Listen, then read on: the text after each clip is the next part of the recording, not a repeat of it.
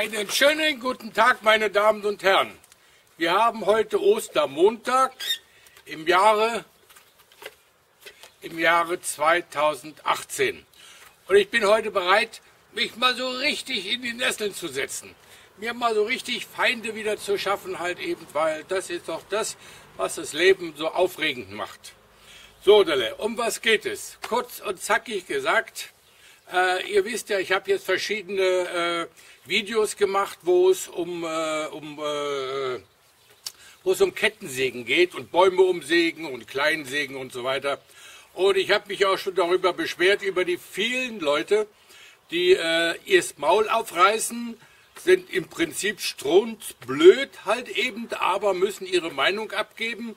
Äh, wenn jemand irgendwo wann mal einen Baum umsägt, dann hat er entweder keinen Schutzhelm auf, keine Schutzhandschuhe, keine Schutzhose, keine Schutzschuhe und die Kette ist nicht gespannt und die qualmt zu sehr und sie haben an allen was zu meckern und haben in der Regel noch nie in ihrem Leben auch nur ein einziges Mal einen Baum umgesägt.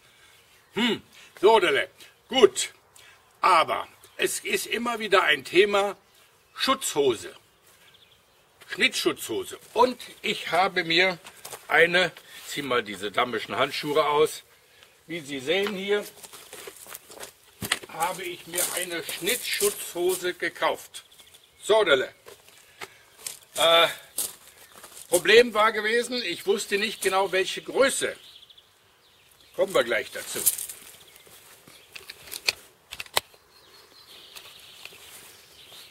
Ich wusste nicht genau, welche Größe ich nehme. Und das ist die Größe 56 und die war mir unten zu lang. Und da habe ich halt einfach alles, was zu lang war, unten abgeschnitten. Und so kam ich zu diesen zwei Teilen hier. Aber da kommen wir später noch drauf zu sprechen. Auf alle Fälle, ich habe mir bei eBay eine Schnittschutzhose gekauft. Der Schutz Klasse 1, das ist eine gebräuchliche. Sie hat vorne den Schutz, hinten ist sie frei und sie ist verdammt schwer, aber ist eigentlich doch relativ noch tragbar halt eben. Ja? So, Dele, nun kommen wir mal weiter. Um was geht es überhaupt in diesem Video? Ha, dann werden wir mal schauen. Einen Moment. So, ja, weiter. Da mir die Hose also zu lang war und ich sie da nicht umkrempeln wollte, weil dann wird die ja so dick unten, habe ich einfach das, was zu lang ist, unten abgeschnitten habe es schön wieder, äh, naja, schön nicht, aber ich habe es wieder schön zusammengenäht, damit die Fasern da nicht rausfallen. Und habe auch diese zwei Teile, die ich hier habe, von den Hosenbeinen, habe ich auch wieder zugemacht und habe mir einen sogenannten Pulsschutz draus gebaut. Pulsschutz, also das ist so eine Erfindung von mir, weil ich die Dinger nicht wegschmeißen wollte. Das heißt also, ich nehme jetzt das, das hier, so, mal schauen, ob es schön klappt, so wie ich mir das vorstelle. Falsche Seite, aber es macht nichts. So, und jetzt habe ich noch, falls mal die Kette abspringt, habe ich jetzt hier zwei so eine Dinger, wo ich um den Arm machen kann. Meistens ist der rechte Arm ja der wichtigste, wo ich noch einen gewissen Schutz für den Arm habe. Aber darauf will ich heute gar nicht hinaus. Ich will auf was ganz anderes hinaus. Aber wer mal eine Hose kauft, die zu lang ist, soll unten nicht wegschmeißen, soll es zusammennähen und damit hat sich das.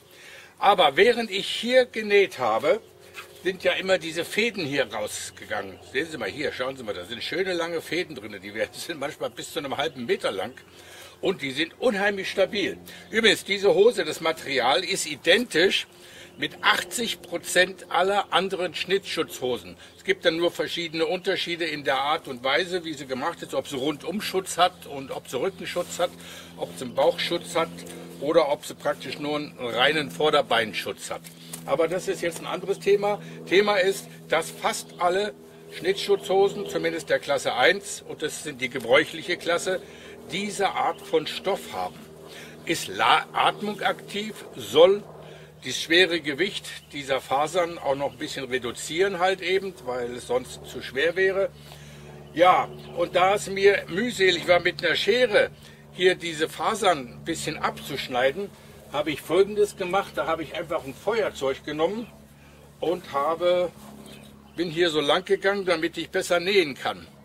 Und da kam eine seltsame Überraschung zutage.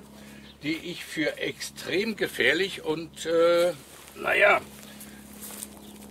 gefährlich halte, wo was überhaupt nicht, ich will euch das mal zeigen. Ich nehme mal nur dieses Stück hier von dem hinteren. So, jetzt mache ich mal ein Feuerzeug an. Und jetzt stellen Sie sich mal vor, Sie sind im Wald, haben drei, vier, fünf Bäume umgesetzt, gehen zu einer öffentlich, äh, zu einer zugelassenen Feuerstelle und da macht ihr mal ein Lagerfeuerchen. Und jetzt kommen Sie dieser Hose irgendwie etwas zu nahe. Wissen Sie, was dann passiert? Schauen Sie sich das mal an.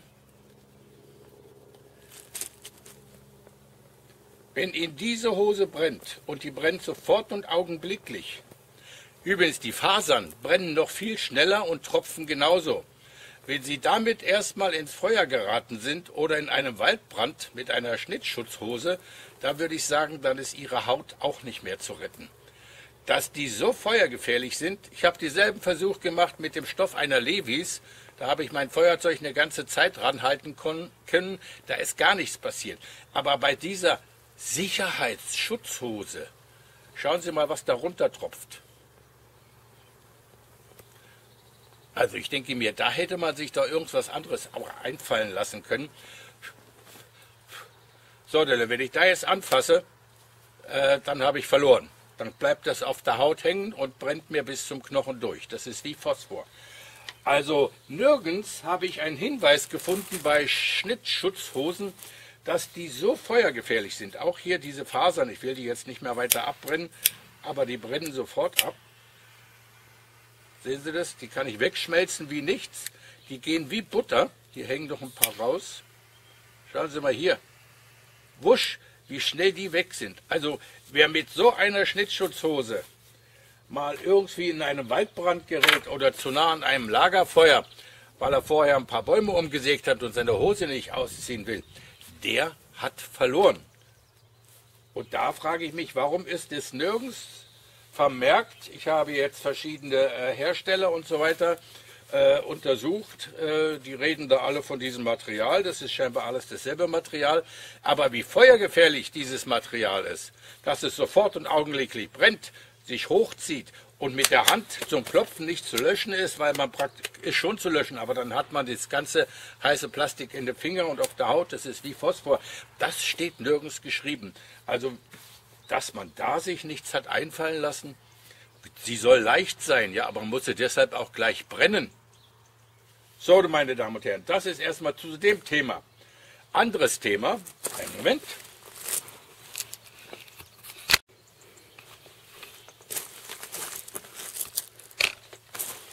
Ja, anderes Thema.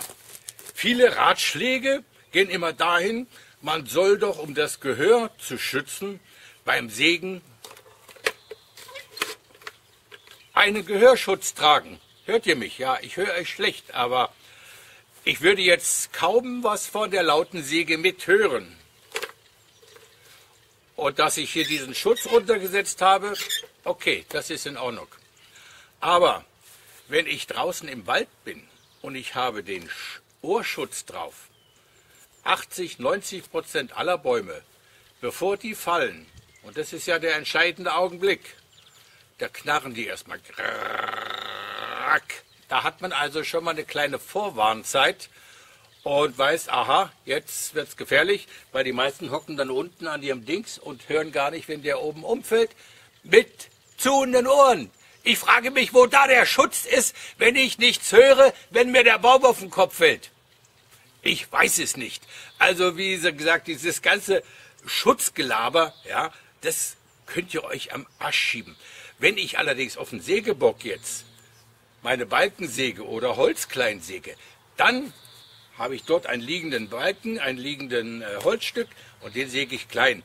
Da ist das Ding hier interessant und da ist auch das interessant. Aber wenn ich draußen im Wald bin und ich höre nicht mehr, wenn der Baum umfällt, dann ist es absoluter Schwachsinn. Also kommt mir nicht immer mit dem Gelaber, wenn ihr seht, dass jemand einen Baum umsieht. Ja, der hat keinen Gehörschutz, der hat keinen Gehörschutz. Ja klar, vielleicht will er nur nicht sterben. So, sind wir erstmal dabei. Was ich sinnvoll finde, das sind solche Schuhe hier. Oh, mal gucken.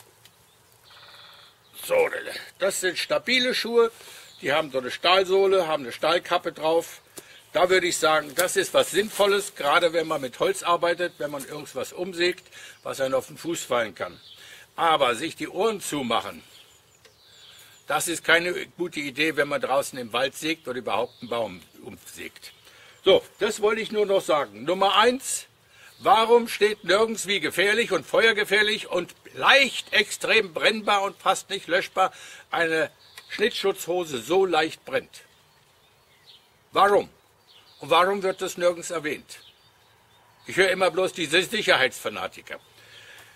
Ich habe mir ungefähr, ja, würde ich sagen, 100 Videos angeschaut, wo es zu sogenannten äh, Sägeunfälle kam. Kettensägenunfälle. Kommen wir gleich weiter.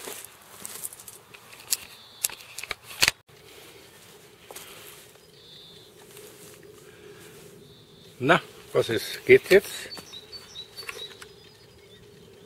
Ja, geht. Entschuldigung. Habe ich jetzt nicht gesehen, ob sie an ist.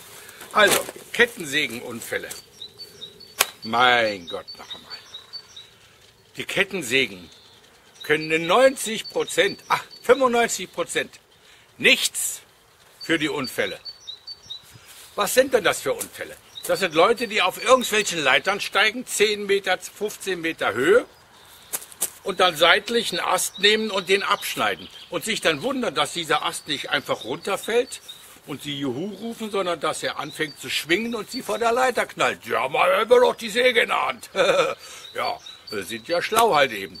Wer sich mal bei YouTube diese ganzen sogenannten Kettensägenunfälle anschaut, sieht sofort, dass 60 bis 70 Prozent der sogenannten Unfälle mit Kettensägen wo die Kettensägen nichts zu tun haben oder im Wald oder beim Holzfällen, damit zu tun haben, dass die Leute einfach zu blöd sind, dass sie nicht wissen, was ein Rückschlag ist, dass sie nicht wissen, was ein Kickback ist und dass sie ihre Sägen teilweise auch so eingestellt haben, dass sie noch weiterlaufen, während sie schon Gas weggenommen haben.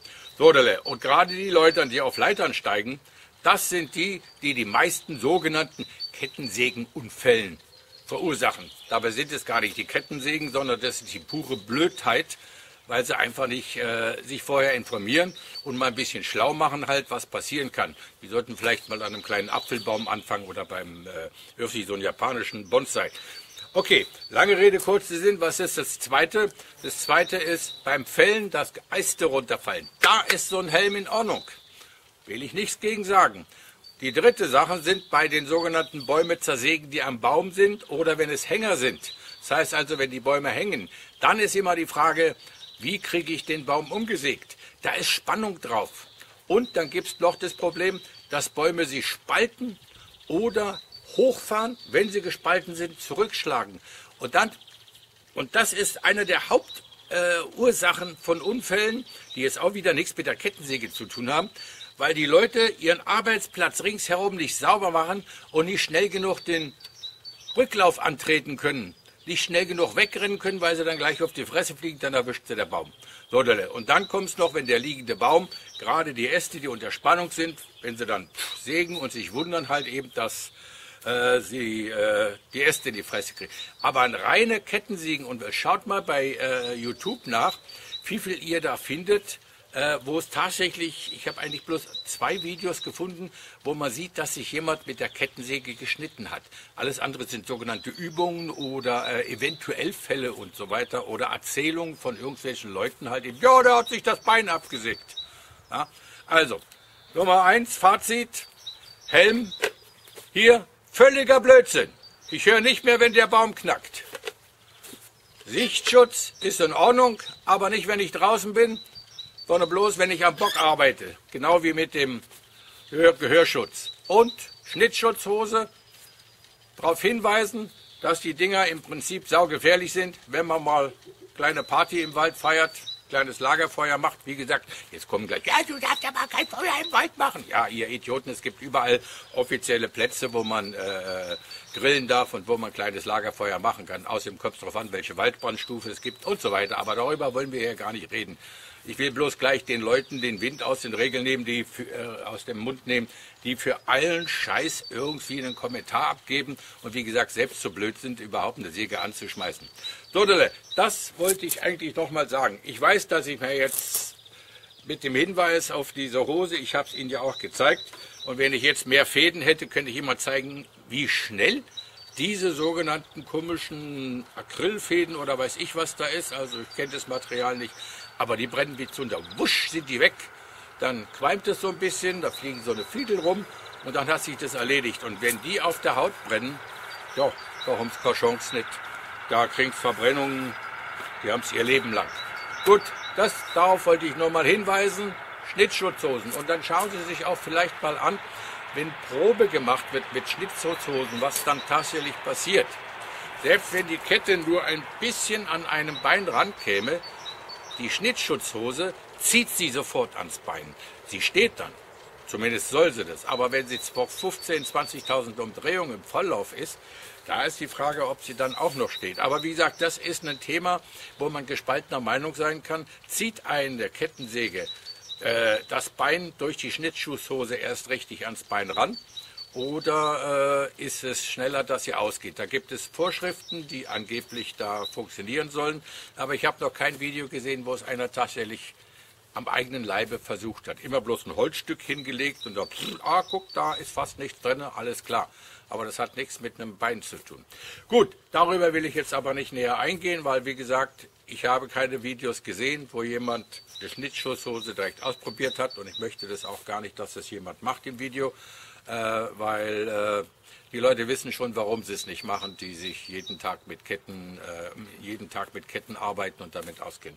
So, das wäre es einmal. Was ich wichtig finde, übrigens diese Gelenkschütze hier, ihr könnt euch ja auch mal so eine Schnittschutzhose kaufen, äh, die Nummer 56 hat und ihr braucht in Wirklichkeit bloß Nummer 52.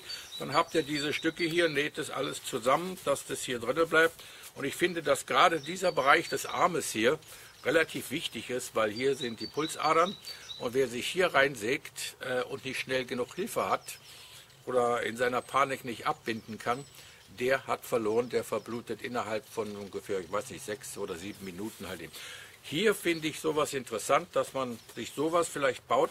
Äh, natürlich kann man jetzt sagen, kauft ihr eine Schnitzschutzjacke, aber wenn Sie wissen, wie schwer allein diese Hose ist, dann doch eine Schnitzschutzjacke. Ja, ja, vielleicht kann ich mich dann noch irgendwann mal bewegen halt eben, nicht wahr? Und äh, arbeiten halt eben. Ne? Und dann, meine, im Winter ist es ja in Ordnung, aber im Sommer, da wird es dann schon ein bisschen problematischer halt eben. Ne? Gut, das wäre es mal für heute.